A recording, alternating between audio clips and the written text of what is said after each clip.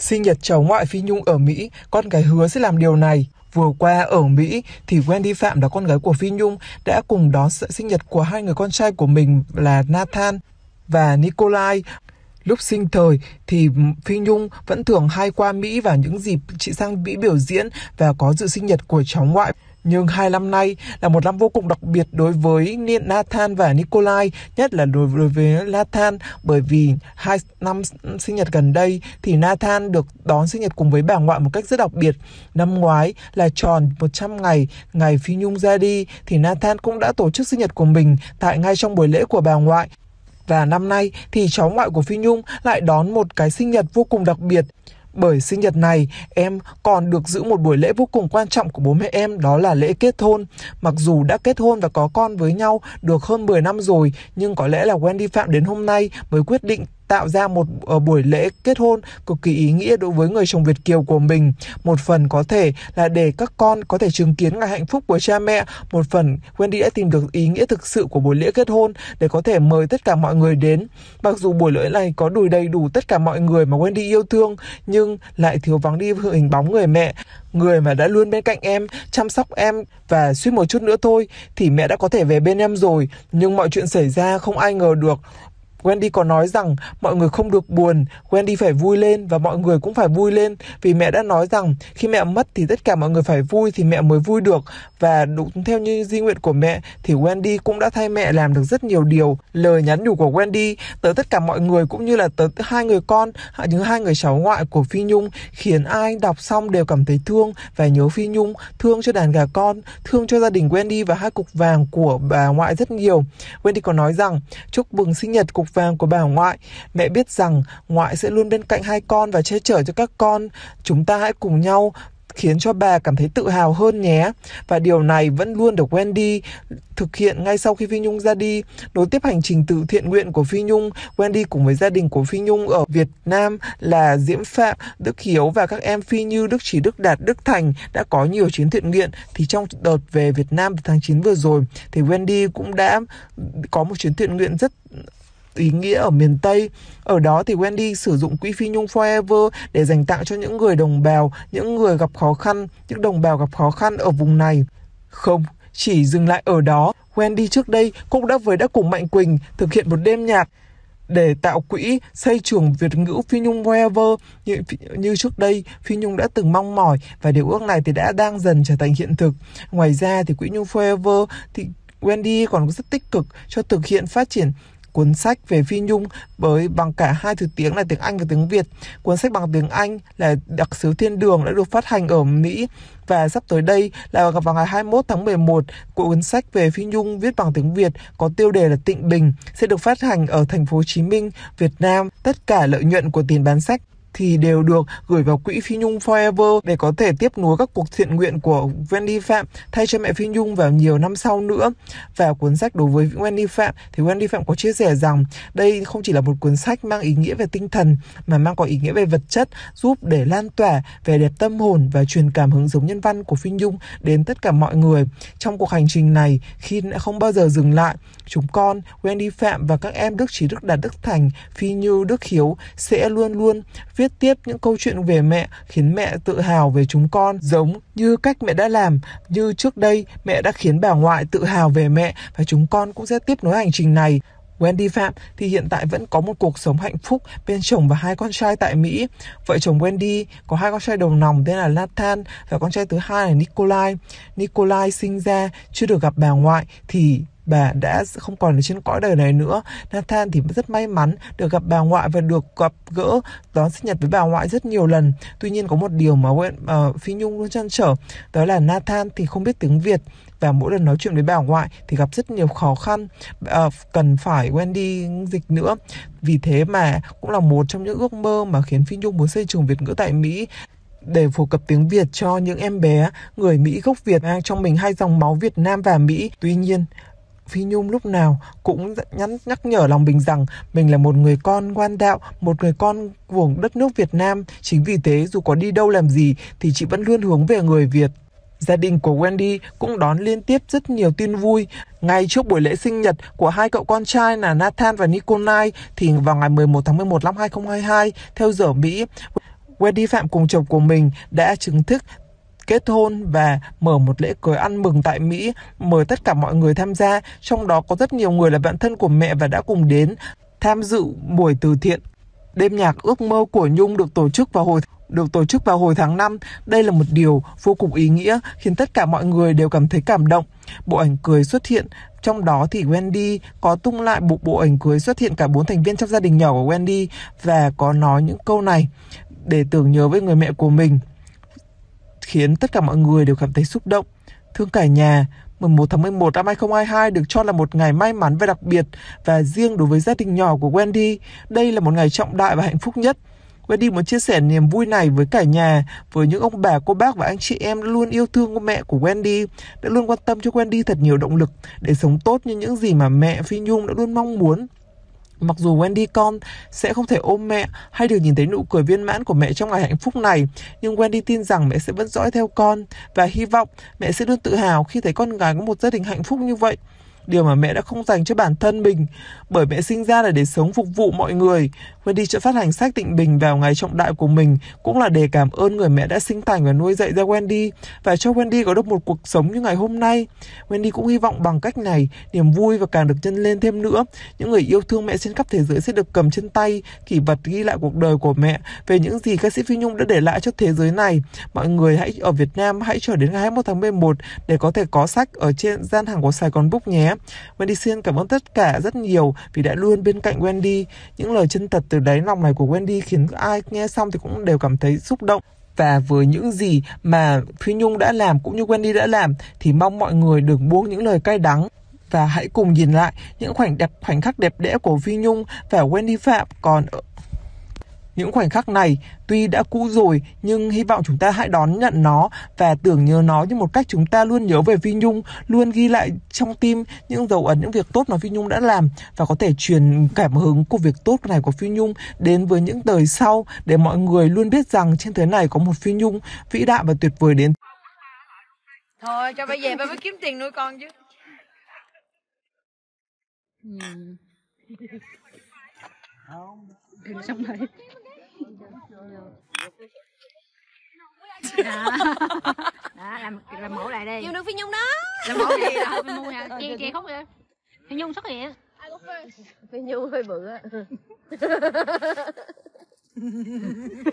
Phi Nhung lúc cái mặt còn ốm nè.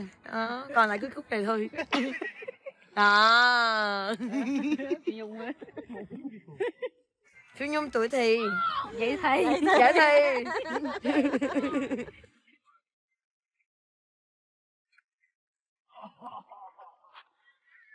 Thấy nè thằng có máu hề hước trong người á Thích nhảy, mê nhảy. Con come here. Come here con. Con come here. rồi hai mẹ con diễn Đây nè, đít nè. Đó, đít Nhung đó chưa? nè nhìn nhiên vậy con giống mẹ kìa giờ nè đó Nhiên nhiên này mắc nửa cái mặt rồi. đó, nó ốm ốm chị bé nhìn nhiên này nhìn giống là y chang luôn đó đó đó y chang hai đó Thôi nhìn, cứ đi nói kìa. Hi, chào cả nhà. Cả nhà khỏe không? Tại em đẹp quá mà. Thôi, làm vậy với ngày chắc bị tặc quá. Hi.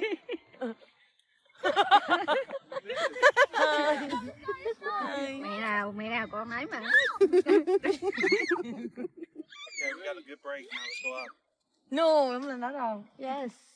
Bên nói hả? You gotta teach. Them, I mean, you gotta show them the real, the real. Ok, đi bộ tiếp cả nhà ơi. đi nữa leo qua ngọn khác, núi khác Mày nữa muốn chiến rồi rồi con mua.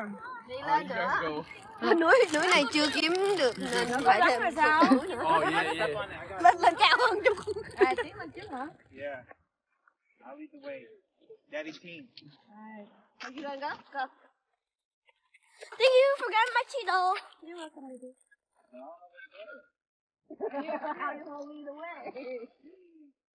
Well, can you hold it? Can you hold it actually? hold it actually? Không, em quay hold ra it chị hold it actually? Oh, no, I don't know where we talking about. Oh, Up con. Bên trái. I'll probably sit at the bottom and wait. No, it's not that bad. You made it all the way up there. đi cô lai ở nhà lên núi lạnh quá nên không có ẩm đi cô lai đi ra đường được này có đang có mấy độ à mặc thứ bốn cái áo hiking tomorrow then. We hike now. We hike now. We're not hiking tomorrow. It's not a hike. ờ nói cái cái tướng con cũng giống mẹ luôn kìa quên đi Hả? tướng con cũng giống mẹ luôn Ủa mà tướng con bự hơn mà. tướng đi Oh, and, uh, you guys talking about right here, up? If there's black widows out there, I'm out. Same. There's none. I'm jumping on all y'all to come down. Nikolai có fan hỏi nè Ờ, như cái lai ở nhà đi ngủ rồi.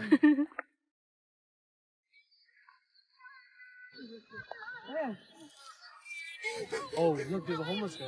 con rể đang nhớ mẹ nên đi đâu cũng nghe nhạc hết. Ai dạ sao siêu ba Sure, sure, sure. She come,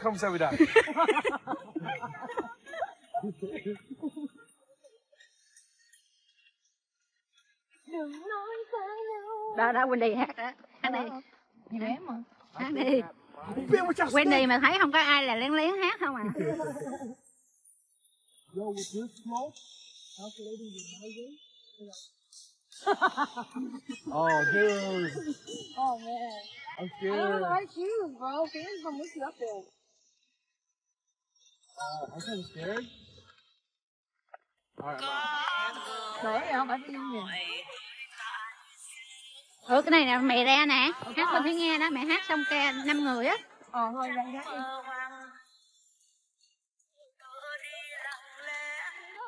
Up, right. How what you know about it? Dude. We're warriors. Um, I'm rolling. I'm rolling. I know you are. But what am Not I? like like I'm rolling But what am down. I? I'm rolling down the mountain. Thấy đường không á? My fear of heights is kicking in.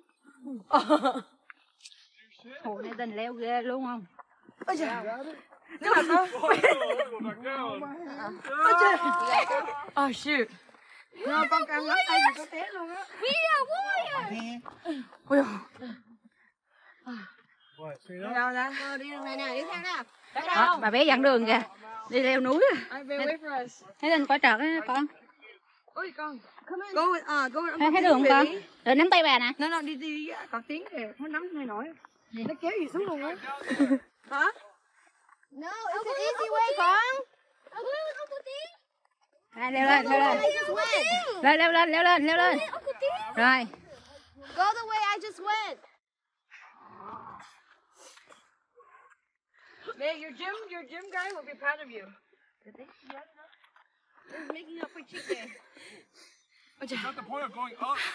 Hành trình Wendy leo bốn ngọn núi để tìm mẹ bậu Ờ, Nghĩa tí nha. Nghĩa. Nghĩa chút xíu. Là tí rồi sao xuống lên. Man, I'm out. We got it. You guys go. Lên tới đỉnh luôn rồi đó.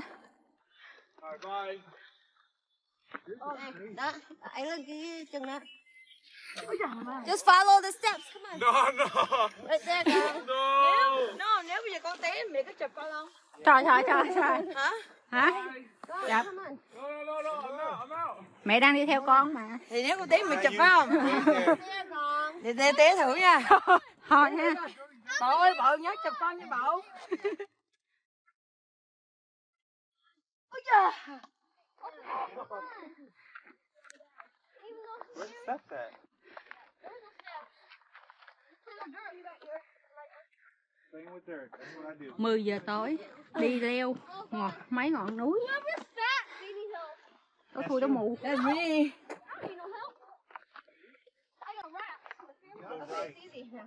Oh, my leg. Ôi. Woo, we are kings.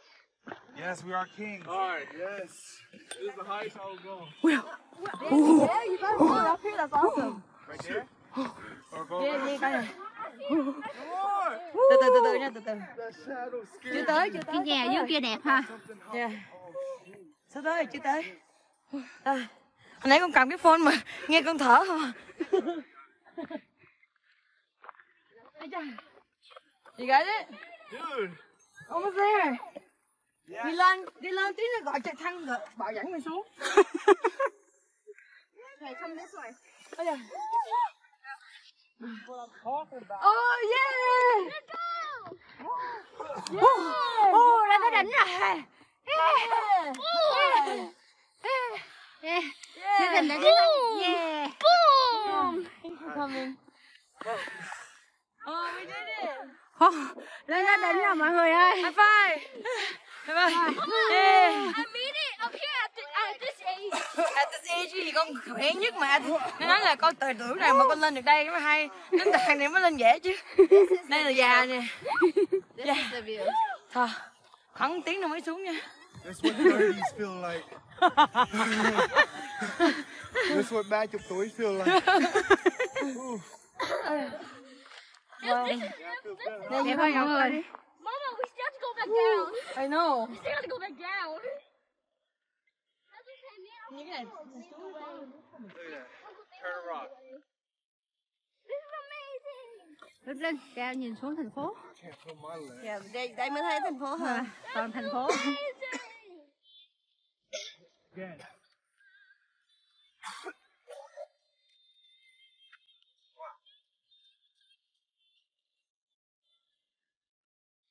We, we way back to go back down. 77. we got a long way to go. hồi đó là có gì bé đem cái màn hình lên nằm xuống luôn mà Dì bé lên tới... Không, có cái tập bắn kìa. Ủa dì bé lên tới đây luôn rồi hả? Phương lên đi. Nhiều lắm. Rồi dán mũ nặng mình. Hả? Dán mũ nè. đâu, đâu đi mình đi nguyên đám luôn. Nhưng mà đem uh, mình ra. Lót xuống, nằm xuống. Ô, Don't worry about going down later. ở đây tới sáng rồi coi uh, mặt trời mọc đi. No. Bây giờ mới có 10 giờ mà nó đã lạnh như vậy rồi người nào cũng cống hết rồi mà ở tới sáng con hết lạnh rồi đổ mồ hôi quá hết lạnh rồi đổ mồ hôi hết hết này Hồi nãy là anh ngắt vô.